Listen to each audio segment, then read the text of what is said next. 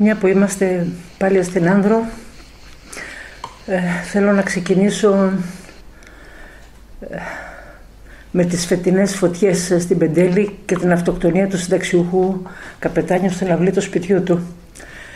Με συγκλώνησε στο θολωμένο μου μυαλό το είδα σαν συνέχεια μιας παράδοσης που θέλει τον καπετάνιο να μην εγκαταλείπει το βυθιζόμενο βαπόρι του.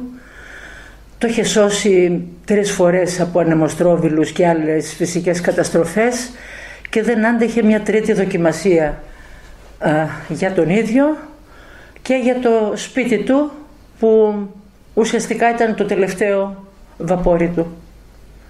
Τον σκέφτομαι όπως πολλές φορές συμβαίνει να σκέφτεσαι πολύ και όλη την ώρα ανθρώπους και ας μην τους έχεις γνωρίσει ποτέ γιατί κάτι σημαίνουν για σένα, σου επιβεβαιώνουν κάτι, ε, κάνουν τη σκέψη σου να είναι πιο κέρια, ας το πω έτσι, και πιο κοντά στην ανθρώπινη περιπέτεια. Αυτό ήταν το, το καλοκαίρι, το φετινό με τις φωτιές πάλι. Ε, θες πολύ να γράψεις. Θες πάρα πολύ να γράψεις. Και είναι δύσκολο να ξεκινήσεις. Μετά από χρόνια θες πάρα πολύ να σταματήσεις να γράφεις και είναι ακόμα πιο δύσκολο να το κόψεις. Δεν είναι η ρουτίνα της συγγραφής. Νομίζω πως είναι αυτή η ανάγκη να σκαλίζεις στα ενδότερα πιο πολύ και πιο βαθιά και πιο βαθιά και πιο βαθιά ε,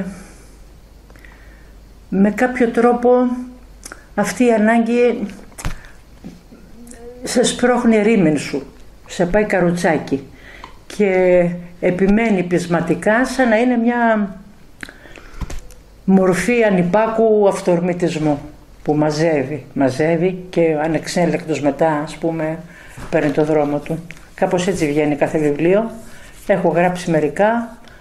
Ε, άνθρωποι που διαβάσανε κάποιο από αυτά ή ξεφυλίσανε ή βρήκανε μερικές σελίδες που τους ακούμπησαν μέσα τους.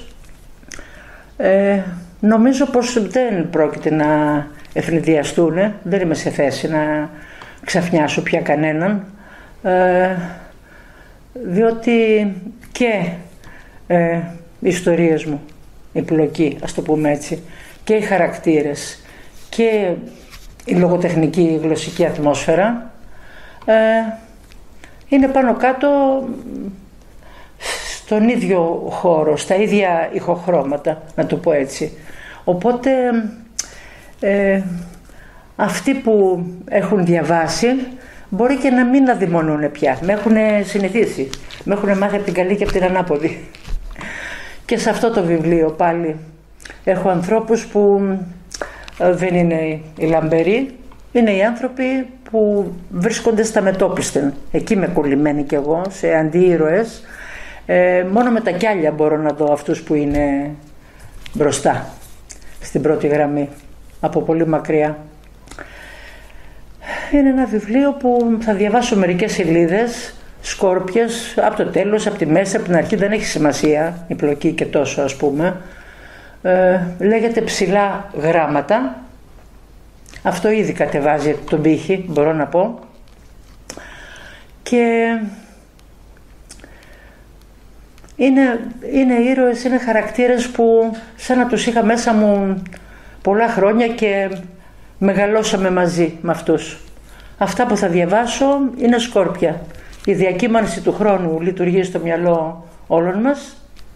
Έτσι δεν είναι; Εδώ είναι σελίδες που μπορεί να είναι από το 1972 μέχρι το 2006 που τελειώνει η ιστορία μου. Ανάμεσα, κυρίως για τον Μιχάλη Τσιούλη, ε, αυτό μου τον ήρωα προστάνεται καλύτερα όταν οι άλλοι δεν του δίνουν και πολύ σημασία και για τους γύρω-γύρω, τους δικούς του δηλαδή. Ε, ας, ας αρχίσω με φοβερό τράκα και ανασφάλεια. Αχ, Θεέ μου. Το βρώμικο κόλπο. Να ξεχάσεις μόνο τα άσχημα, αλλά να θυμάσαι τα ωραία δεν πετυχαίνει. Η μνήμη διεκδικεί τα νόμιμα, δηλαδή όλα ή τίποτε. Δηλαδή ας μένει κάποιος να θυμάται, να θυμάται και τα ψηλά γράμματα. Υπάρχουν κάμπος από αλίμανο, αν τα θάψει και αυτά ο νους. Δεν πρόκειται για φανταχτερά αισθαντανέ και σκατοπασαλημένες αναμνήσεις. Πρόκειται για άϊλα τη μαλφή.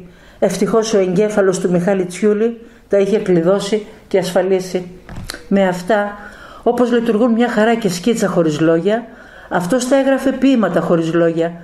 Κάτι σαν κοφάλαλα τετράστιχα με βασικό νόημα το μη γίνουμε γαϊδούρια. Ευσεβής πόθος όπως το ειρήνη ημίν, ημίν, τη σπάση, χήμερα να σου πετύχει, χαμογέλασε. Λοιπόν, καλή του ώρα συμφωνούσε με τις ψυχιάτρους που είχε επισκεφθεί κατά καιρούς ώστε να μην αιωρείται αδέσποτη στον αέρα κάποια πιθανότητα βλάβης στο σύστημα της ύπαρξης που φέρει το ονοματεπώνυμο Μιχαήλ Τσιούλης.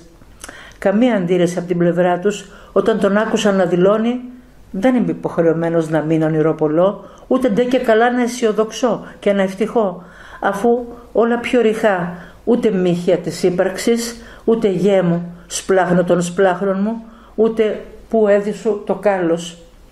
Δοκίμασα, τους είχε πει, να αρκεστώ στο μικρομεσαίο μου μερτικό καθημερινότητας, να μοιάσω με την πλειοψηφία των πιο νορμάλ, να γίνω και λίγο ζαμαμφουτίστας. Όμως δεν μου είπε πολλά η πραγματικότητα, δεν ήξερα πώς να κινηθώ άνετα σε αυτήν. Φεύγοντας από τις συνεδρίες των 45 λεπτών, είμαι ένας τέλεια θλιμμένος άνθρωπος, ένας ολοκληρωμένος απελπισμένος. Αυτό είχε καταλάβει και το εξομολογήθηκε και απόψε στον τοίχο του Άι Γιώργη, στα πευκάκια ολόγυρα και στα φώτα πέρα ως πέρα.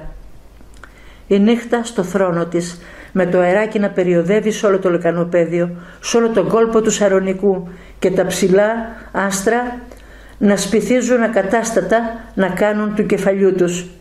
Τι είχε αγαθεί, ο Τσιούλης είχε ειδεί το φεγγάρι σε 50 μπορεί και παραπάνω παραλλαγές.